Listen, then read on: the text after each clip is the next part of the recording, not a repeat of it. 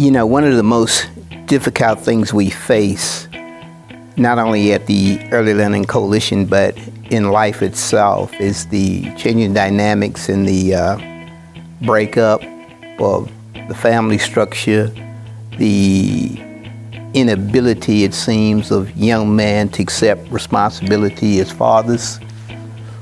One of the things we do is we try and focus on young men, older men, incarcerated men, and just help them understand and really start seeing their responsibility as a father. One of the things I talk about every Friday when I go to uh, the prison is that even though you're not there as you should be, and if you are there, you should always be the least important person. Anytime a father is the most important person in the family, it's a dysfunctional family. It's not going to work. It's not going to work properly. That's not your role.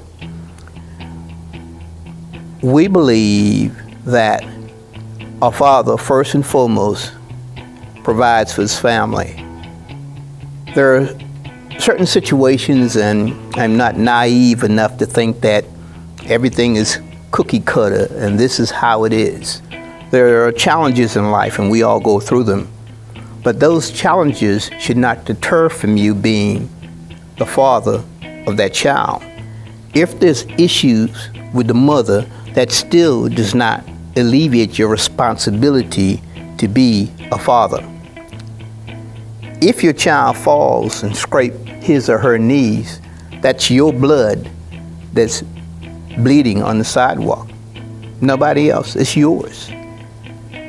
How then can you say, how then can you not acknowledge or not step up to the plate?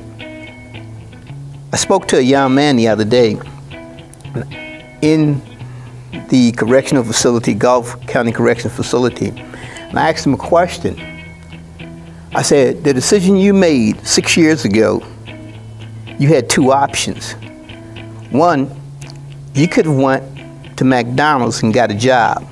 And if they'd started you off at about 8,000 an hour and never given you a pay raise, you would still be a whole lot further ahead now than you are by the decision you made to go to prison.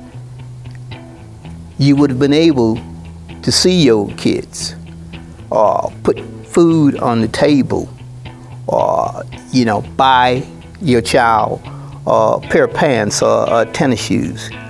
When a man abdicates his responsibility, the impact is not just immediate, it's long term.